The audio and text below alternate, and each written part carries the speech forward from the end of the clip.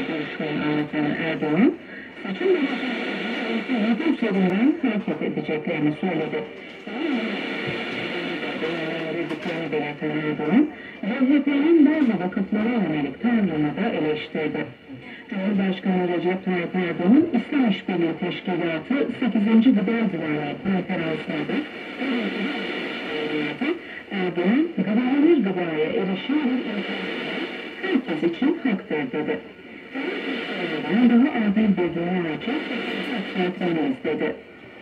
Koronavirüsle mücadele 26 Ekim koronavirüslerine göre bu yıl 26.643 vaka tespit edildi. 215 kişi salgın nedeniyle yaşamını yitirdi. İlk döneminde bugüne kadar yapılan koronavirüs aşısı 90 sayısı 115 milyonu geçti. 48 milyondan fazla kişi aşının ikinci dozunu yaptırdı. Türkiye ortalaması %77,85'e yükseldi.